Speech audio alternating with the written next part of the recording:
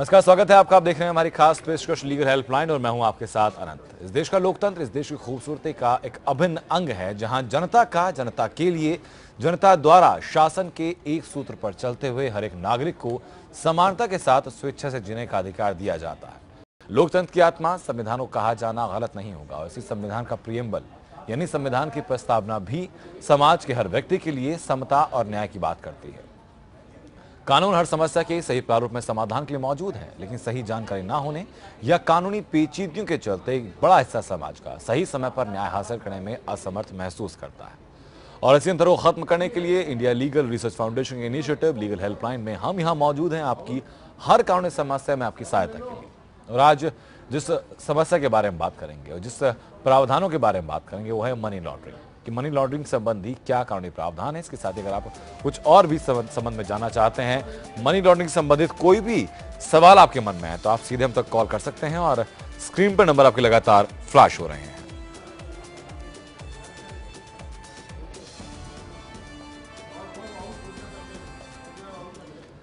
और money laundering पर खास चर्चा के लिए हमारे साथ अनिल अग्रवाल हैं। आप पूर्व अध्यक्ष हैं आईसीएआई के। सर, स्वागत है आपका। जब हम लोग मनी लॉन्ड्रिंग के बारे में सर बात करते हैं तो पहले जानना बहुत ज़रूरी होता है कि मनी लॉन्ड्रिंग दरअसल है क्या? Of course money laundering you see we have to first define which kind of money is involve ji. Not the every money normally a man a layman understand that money which has not been accounted for or which has not been routed through tax net that money is involve it is not like this rather money which has been raise from criminal activity ji. Only those criminal activity which are part and parcel of the scheduled. Hmm. That is why it is called the scheduled offence. जी. Means I can say that money which has been raised from scheduled offence. जी. There are 156 scheduled offence. अच्छा If money has been raised from those scheduled offence, that money is involved. जी Now a very, very technical question is that laundering. What process is called laundering? Hmm. A process whereby we change the basic character of the receipt. जी we change the color of the receipt, we clean the money. Hmm.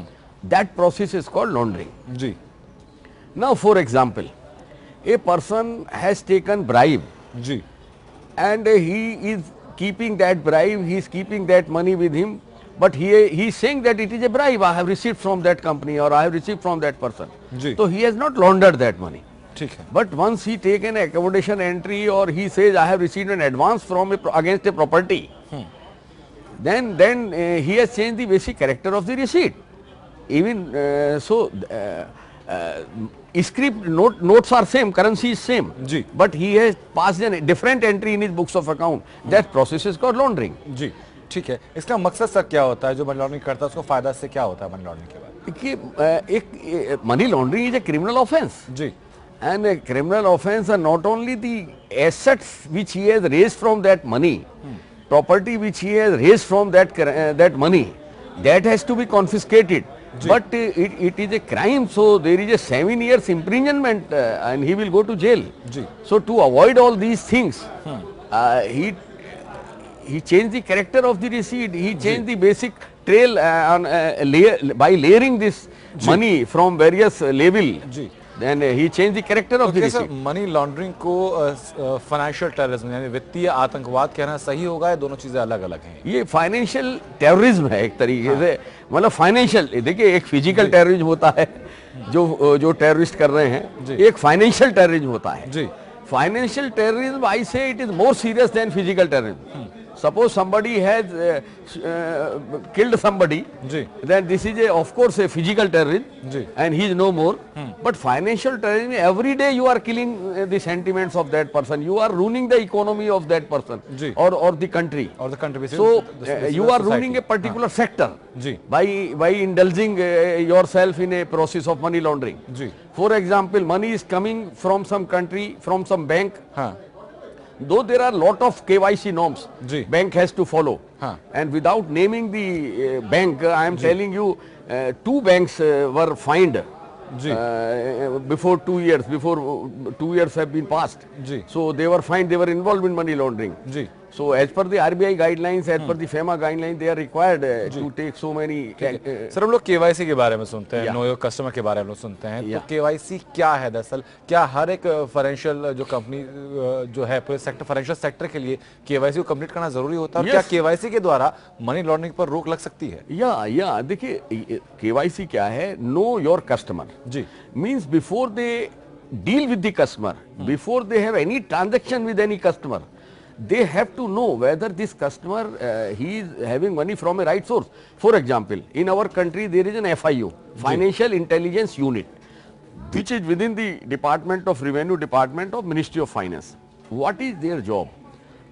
completely they are getting information from all banks all financial institution and they are disseminating sending this information to the various investigating agency like DG investigation income tax like DG uh, excise raiding department and to various in- investigation authority they are sending this information तो बैंकों से वो क्या information लेते हैं कि भाई मैंने suppose I have transact I have lot of transaction in my bank जी तो definitely bank bank will ask me कि भाई इतना पैसा जो आप जमा कर रहे हैं कैश जमा कर रहे हैं या चेक जमा कर रहे हैं या आगे पेमेंट कर रहे हैं किसको आ रहा है कहाँ से आ रहा है कहाँ जा रहा है बिल्कुल तो that is basically K Y C norms ji. And bank एक रिपोर्ट देते हैं जो रिपोर्ट वीकली जाती है मंथली जाती है जी। अपने कस्टमर के बारे में वो कस्टमर को नहीं पता होता है जी और वो देते हैं कि भाई ये पैसा ये आदमी चार्टर्ड अकाउंटेंट है या एडवोकेट है ये प्रॉपर्टी में डील करता है। जी। तो इसके अकाउंट में ये पैसा यहाँ से आ रहा है यहाँ जा रहा है। जी। तो उस सब के ऊपर वो एफ़ आई वॉच रखती है। जी। And it's a control of course it's a control it's one of the tool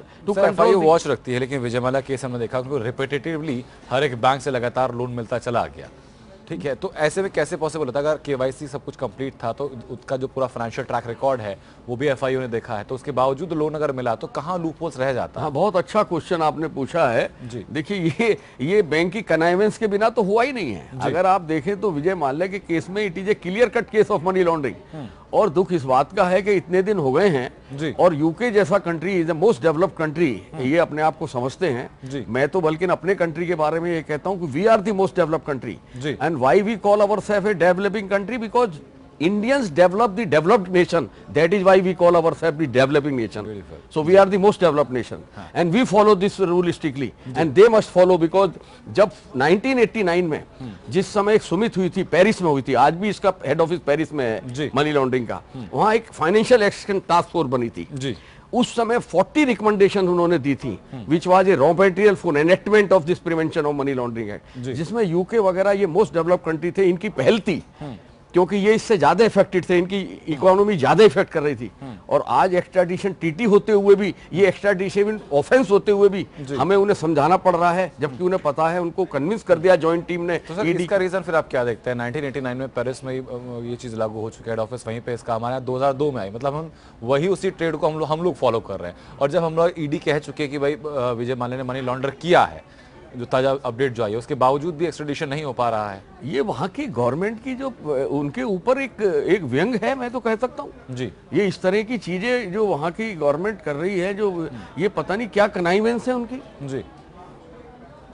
ठीक है। सर अभी जो जो रीसेंट डेवलपमेंट हुए हैं कि भाई ये ईडी के कुछ वहाँ हमारे कुछ रिप्रेजेंटेटिव्स गए हैं वहाँ पर बात करने के लिए तो वो पूरा डेवलपमेंट क्या रहा? या उन्होंने बुरा कन्विंस किया है उनको उन्होंने हाँ। सारे दिखाए हैं कि how he has obtained loan for what purpose this loan was granted and how he has diverted these funds to some other objective hmm. and how he has laundered this money uh, to British companies and to other British banks। ये सब उन्होंने proof दिए हैं जी ठीक है एक बात मैं जानना चाहूँगा सर कि ये एंटी मनी लॉन्ड्रिंग चेक एक कौन परफॉर्म करता है this act is administered by enforcement directorate within the ministry of finance ठीक है सर। तो इसमें जो रूल्स होते हैं रेगुलेशन होते हैं जो रिफॉर्म्स की बात आती है जो फिर जो लूपहोल्स निकलते हैं फिर उनका करेक्शन सर कहाँ से होता है? उनका करेक्शन तो वही act is made act is enacted by the parliament and हम लोग प्रोफेशनल लोग देखते हैं कि कहाँ कहाँ रूल्स में कमियाँ हैं। ऑफिसर्स इतने अब तो मैं कहूँगा बहुत नॉलेज हो गई है ऑफिसर्स को। जी। और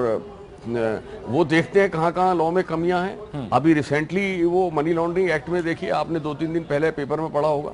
They are going to amend this act in the light of the various development what exactly we need so उनको और अथॉरिटी देने जा रहे हैं। जैसे देखिए जो एसेट है जो कॉन्फिस्केट होती है जी। वो बहुत लास्ट में जाके सेल हो पाती है। लेकिन अब वो उसमें चेंजेस ला रहे हैं कि बहुत जल्दी ही वो अटैचमेंट अभी प्रोविजनल अटैचमेंट की पावर है एनफोर्समेंट डायरेक्टरेट को as per section five section eight में इन्हें उस अटैचमेंट को कंफर्म कराने के लिए एडजुडिकेटिंग अथॉरिटी के पास जाना पड़ता है। लेकिन अभी ये they are going to amend this act that ED must be empowered to confirm to confirm the attachment so they are uh, going to empower uh, the ed much more power they are going to enact this act government is functioning government is doing very well sir जो PMLA है इसमें क्या कुछ loop holes already अभी हैं हमारे पास कि जिनको लूप होल्स को ट्रिक की तरह इस्तेमाल करके मनी लॉन्डर कर ली जाती है? सर इसमें देखिए सबसे बड़ी चीज़ है आज we must compliment even the supreme court जी।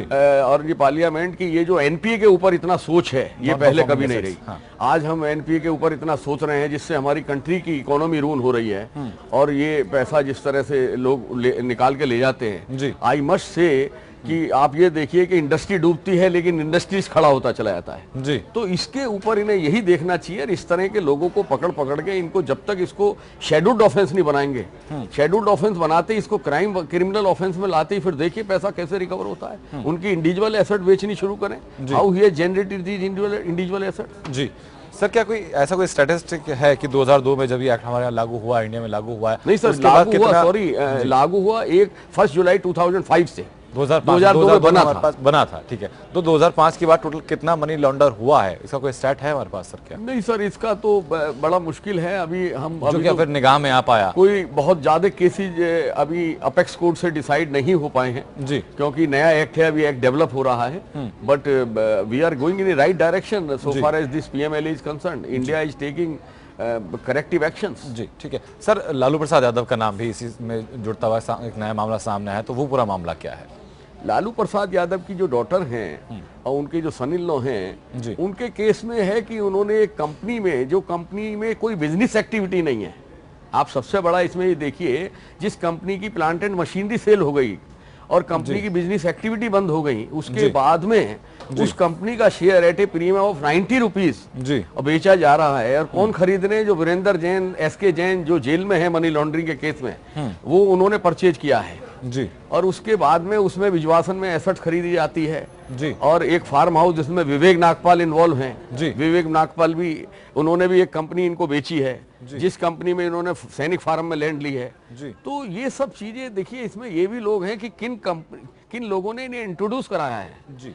ये वो सब इन्वॉल्व हैं। और ये ये क्लियर कट केस है मनी लॉन्ड्रिंग का। लेकिन ये इन्वेस्टिगेट होना चाहिए। जी इस वक्त से मध्य प्रदेश से कॉलर हमारे पास है राजेश। राजेश अपनी बात आप रखें कैसे आपकी सहायता हम लोग कर सकते हैं? राजेश अब तक आवाज़ पहुँच रही है हमारी? जी राजेश बताइए।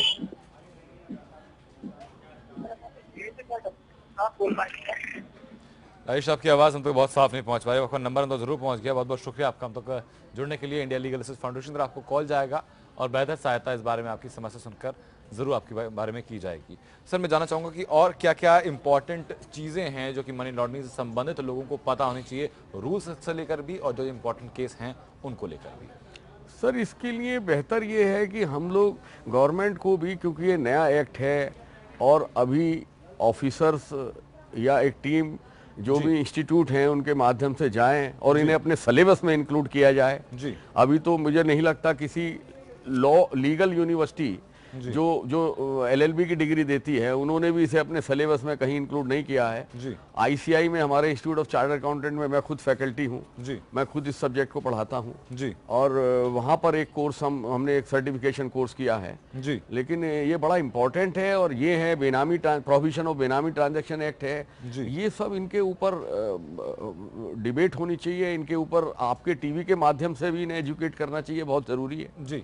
ठीक है, सर, जब हम लोग एंटी मनी लॉन्ड्रिंग रेगुलेशंस की बात करते हैं तो कुछ एजेंसीज के नाम हम लोगों ने रिसर्च करते हुए पढ़े तो उनका फ़ंक्शन क्या मैं पूछना चाहूँगा, जैसे कि J M L S G है, जो कि joint money laundering steering group है तो ये इसका फ़ंक्शन क्या होता है, साथ ही जो फाइनेंशियल कंडक्ट अथॉरिटी होती है, फिर प्रोडेशन प्रोडेंशियल रेगुलेशन अथॉरिटी होती है तो ये सब चीज़ें क्या हैं?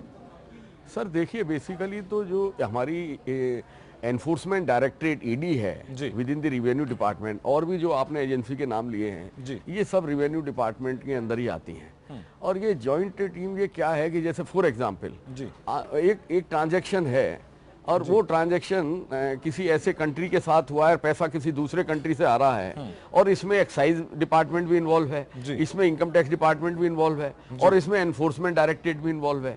तो वहाँ पर इस तरह की जो ज्वाइंट कमेटी है ज्वाइंट एजेंसी है वहाँ पर वो फ़ंक्शन करती हैं। और अपने अपने डिपार्टमेंट से वो इन्वेस्टिगेट करके और जहाँ भी वो ऑफेंस में बुक होता है उसको करती हैं। जी। ठीक है। सर, जो हमने चर्चा के दौरान चीज़ें सामने आई थी अगर के केवाईसी कंप्लीट रहेगा, अपडेट रहेगा तो शायद मनी लॉन्ड्रिंग के केसेस कम हो। लेकिन चूँकि अभी के केवाईसी मैनुअली पूरा होता है कि डॉक्यूमेंट जाके देना होता है, अगर पूरी चीज़ें इलेक्ट्रॉनिक हो जाएँ, डिजिटल हो जाएँ तो तब क्या ज़्यादा आसान रहेगा चीज़ों को कंट्रोल करना? सर वो तो ठीक है लेकिन अभी आप एक चीज़ देखिए डिजिटल होने से ठीक है आपकी बात लेकिन अभी सबसे बड़ी ज़रूरत डिजिटल डिजिटल होने से पहले जो है। वैल्यूएशन ऑफ़ शेयर को ले लीजिए। जो आप जो आप बात कर रहे हैं लालू प्रसाद यादव के केस में ये वैल्यूएशन ऑफ़ शेयर की समस्या है। अगर आप नेशनल हेरिट किसी भी उसकी बात करते हैं ये वैल्यूएशन ऑफ़ शेयर की समस्या है। देखिए इसमें सुप्रीम कोर्ट का एक बहुत अच्छा डिसीज़न है। और वो वो डिसीज़न है हिंदुस्तान लीवर लिमिटेड से रिलेटेड है। जो सुप्रीम कोर्ट का 95 का डिसीज़न है सुप्रीम कोर्ट ने क्लियर कट कहा है कि जो जो वैल्यूएशन ऑफ़ शेयर है it's an art it is not exactly science तो means it is a combine it's an art and science and once it is approved by the share holder of the company तो it means वो accept हो जाती है. लेकिन जहाँ तक इसमें हम लीकेज ऑफ़ रिवेन्यू की बात करते हैं या पीएमएलए की बात करते हैं ये सब एजेंसियाँ अगर इसमें एक्टिव हों तो डेफिनेटली ये जो कंपनियों का वैल्यूएशन हो रहा है शेयर का यही तो सारा लूपोल है। यही तो सारा लूपोल है कि देखिए कंपनी में कोई एक्टिविटी नहीं है नब्बे रुपए के प्रीमियम पे बायर खरीद रहा है। जी।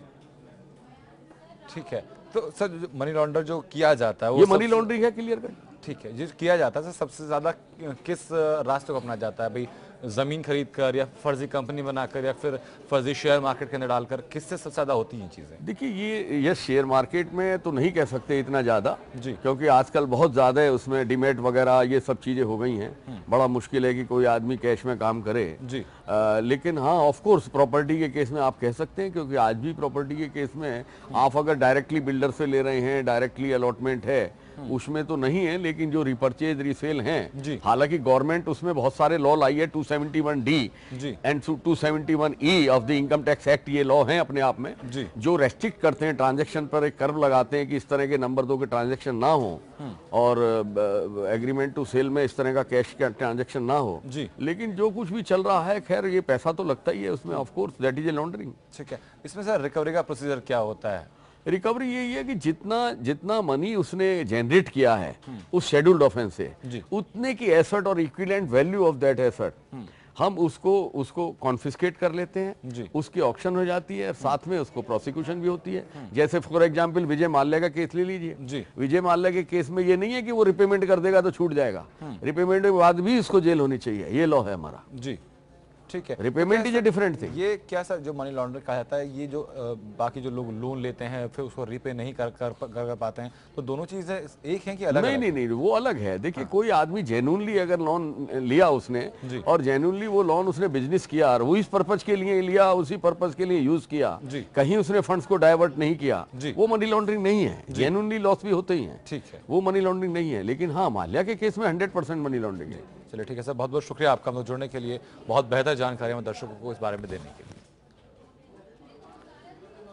इंडिया लीगल सर्च फाउंडेशन के इनिशिएटिव, लीगल हेल्पलाइन का एक उद्देश्य यही है कि समाज के हर वर्ग के हर व्यक्ति के पास बेहतर जानकारी हो, इसलिए हर रोज एक नए विषय के साथ आपके साथ हम आते हैं। और अगर आपको कोई भी कारण दिक्कत आपके सामने हो तो नंबर हमारे लगातार फ्लैश हो रहे हैं, नंबर फ़ोन करके आप किसी भी तरह की कारण सहायता हमसे ले सकते हैं।